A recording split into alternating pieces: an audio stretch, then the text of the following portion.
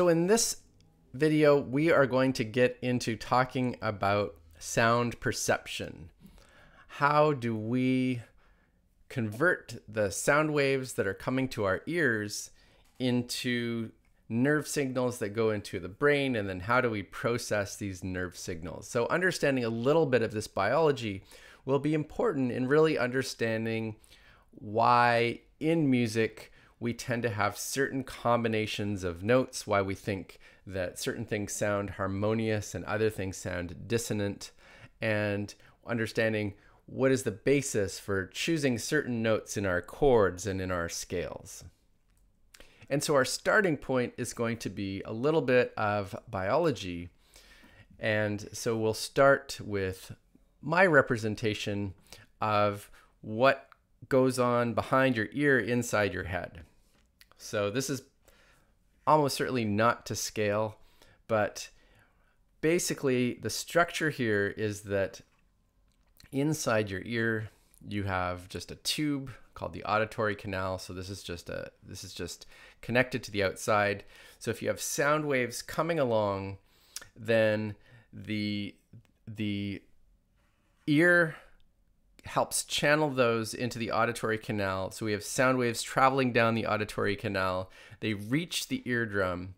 And then, as we've discussed, the displacement versus time of the sound waves in the auditory canal is going to get translated to some displacement versus time of the eardrum that's basically has exactly the same shape. And so the way it does that is just because you've got uh, when you have these displacement of air molecules near the eardrum, that creates a varying pressure on the outside of the eardrum. On the inside of the eardrum, the pressure is mostly constant. Uh, so this is because this particular channel here, it connects to your sinuses, to your um, to your nose and mouth, and so the pressure inside your ear generally stays at atmospheric pressure. And so the pressure differences that you get when a sound wave comes along are what cause these vibrations. Now, the eardrum is connected to a series of three bones that I've indicated in this color that I don't know the name of. And those are those have fancy medical names that I won't mention, except for this one. This small, this is the the smallest bone in your body. It's called the stapes or stirrup. Uh, the function of these bones is to transfer oscillations of the eardrum to oscillations of something else called the oval window, which is which is a membrane um, on this organ, this fluid-filled organ uh, called the cochlea. Okay, so the sound waves oscillate the eardrum, which oscillate these bones, which oscillate the oval window on the cochlea. And then inside the cochlea, you now have sound waves traveling through uh, a fluid and they they travel down to the end of the cochlea and come back. Um, and so inside the cochlea is where the conversion of these physical sound signals to um, to nerve signals to kind of electrical signals um, taking on the nerves going to your brain. Uh, so that happens inside. And so to understand that, we're going to look at a little bit more detail at what is inside this cochlea. Okay. Now, if you want to watch an animation of what I just saw, I'll include a video below. There's actually a couple of good ones out there on YouTube. Um, but I'm going to go ahead and just talk about what would it look like if you unroll this cochlea. So it looks like a little bit like a snail. And so if you unroll this thing, then it turns out to be about three centimeters long. And it has a structure where there's there's an upper chamber filled with fluid. The sound waves travel down that that's connected at the end to a lower chamber and and the sound waves can come back this way. And in between there is some structure which includes something called the basilar membrane. Okay. And so we don't need to know all the details of, of all of this um, But the important thing is that these sound waves also cause the basilar membrane to vibrate. And the basilar membrane has a very interesting structure. It is thicker at the far end and thinner at the close end, and is also uh, floppier at the far end and stiffer at the close end. And so you can almost imagine this as a bunch of strips of material, or maybe even like a, a bunch of um, strings, since we've talked about strings, where the strings at the end are long and are and loose, low tension, and the ones at the at the close end are short and have maybe higher tension. And so, you know, from what we've talked about so far, you would probably immediately recognize that these ones naturally want to this end naturally would want to vibrate at a lower frequency and this end would naturally want to vibrate at a higher frequency okay and that's exactly what happens um, and it turns out that the there's there's a very dramatic frequency sensitivity to this thing uh, so that specific frequencies will make very specific regions on this basilar membrane vibrate and and uh, that is it turns out what causes these nerves to be activated. So just a little bit more detail if you want um, on, on top of this uh, basilar membrane. There is something with an awesome name. It's called the spiral organ of corti and so that's just you know a bunch of cells. They turn out to be uh, mostly these hair cells, and the hair cells have what are called hair cilia on the end. So, pretty much the thing that we need to understand is when the sound waves come along and they make the certain regions of the basilar membrane vibrate, uh, then these hair cilia also end up vibrating.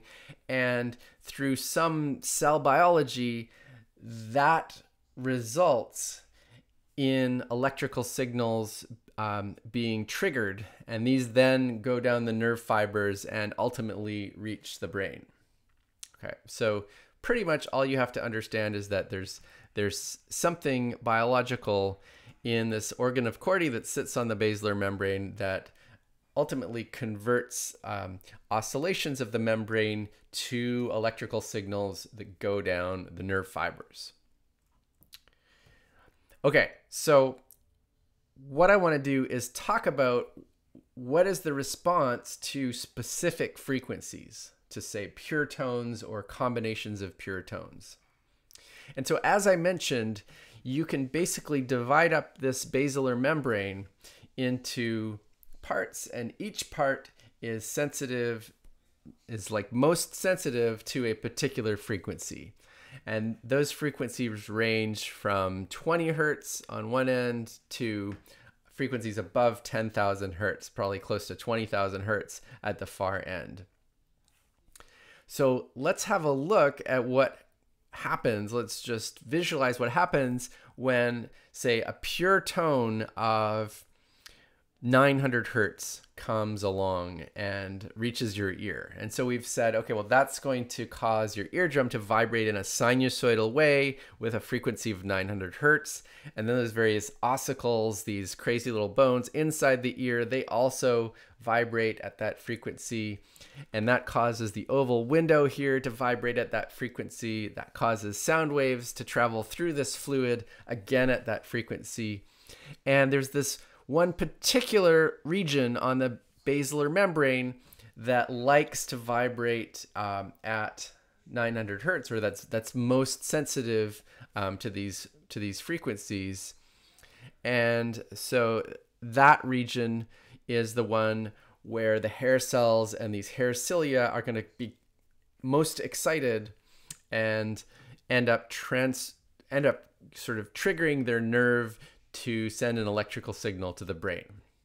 Okay, so this is probably a, a little bit of a simplification. You know, it's it's probably not just one nerve. There's probably some combination of nerves, um, but this is, I think, a pretty good way to understand it. Uh, what we need to understand is that is that there's a conversion from sound to nerve signals and that this conversion it depends in a very sensitive way on the frequency of sound that enters. So that's what it would look like for a 900 hertz pure tone. If you sent in a 3000 hertz pure tone, it'd be the same deal, except the basilar membrane over here would be the part that is most sensitive to that. And so that would vibrate um, more, and then nerves in this region would be the ones that would be firing and sending the signals to the brain. Okay, what about uh, a musical tone that is not a pure tone? Maybe we're playing a trumpet now, and so the tone has the pure tone as well as all these harmonics. And so, according to our principle of superposition, you can think of those as just separate waves on top of each other. And so that's true of the sound waves out in the air, of the vibrations of the eardrum and these ossicles, and the sound waves in the cochlea. So you just have a combination of several different pure tones. And as a result of that combination of several different pure tones, you're going to get a combination, you're going to get a variety of different regions on the basilar membrane excited. And so now you'll get uh, a combination of these various, of these different nerve signals uh, that we would have got if we just had the pure tones individually. Okay. And so that's very interesting. Um, what we see is that the cochlea is this biological thing that is kind of taking our sound splitting it up into the various frequencies and then turning that into these nerve signals. Okay, and it's not just sensitive to the frequencies, it's also sensitive to the amplitudes that are present at each of those frequencies. So if you have a larger amplitude um, at 800 hertz, say for one instrument compared to another, what that translates to is that this nerve signal is going to be stronger. Uh, it's it's like the the nerve is going to be firing more rapidly, and so you can you get this your brain will get the information not only about what frequencies are there, but also about how much of each of those frequency um, is present, and that's pretty amazing uh, because it ties into something that we've talked about before. We talked about how you could take a time graph and you can convert that information into a spectrum graph. And this is essentially exactly what your ear is doing. So, what goes into your ear is a sound wave and makes your eardrum vibrate. And so, if you look at the eardrum displacement versus time, then that is basically the time graph for the sound wave. So, that is the input. And then the output, which is the information sent to your brain, is the rate of firing of all these various nerves. There's about 30,000 of these nerves here along the along the uh, basilar membrane. And so what we've seen is that when this signal hits your ear, then the various frequency components of that cause various parts, specific parts of the basilar membrane to be excited and various and those parts will have nerves that send a signal to the brain. The strength of that signal is going to depend on the amplitude of this particular present at that particular frequency. And so if I were to draw a graph in the end of like this nerve firing rate, which is just the strength of the signal going to your brain, um, as a function along the basilar membrane, just as a function of the position, then that graph right there, it is basically a spectrum graph. Okay, and so the the ear has this function that it takes in a time graph, takes in the information of a sound wave, and then what it sends to your brain is equivalent to the information that's present in a spectrum graph. Okay, so this this cochlea is like uh, a fleshy spectrum analyzer. So we're going to talk more next time um, about this and how this biological understanding actually allows us to understand uh, a lot better um, things about harmony and dissonance.